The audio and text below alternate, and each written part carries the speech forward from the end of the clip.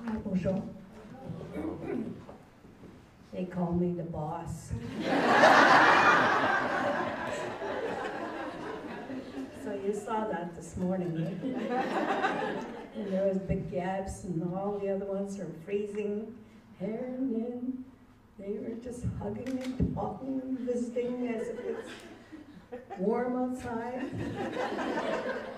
And I'd go over there, move it, move it.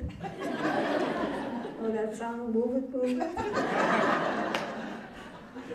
anyway, it is all joy, part of life, and I'm glad that I was able to make it um, because I had a friend that I had from the residential school who passed away, and I had to escort her to the final stages and that, so that's why I wasn't here on Thursday Friday.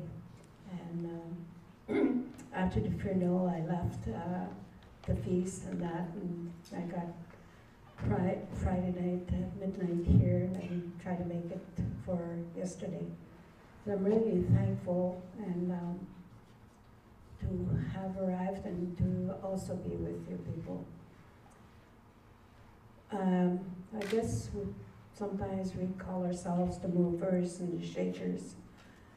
Um, we're the practical, practical doers. You know, there's got to be doers, and there's also the thinkers. And the thinkers are today's session. To walk for the water is something that's uh, I cannot describe. It gives you a very spiritual, spiritual feeling.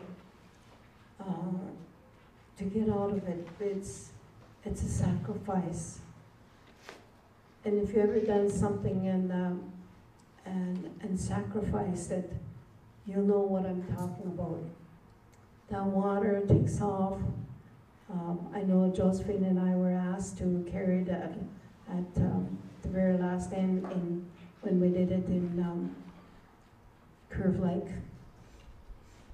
No water pail sort of lifted up as we were walking it, and so she's telling me, "Put it down." Put it down. And I, I wasn't the one that was lifting it. You know. I thought she was lifting it.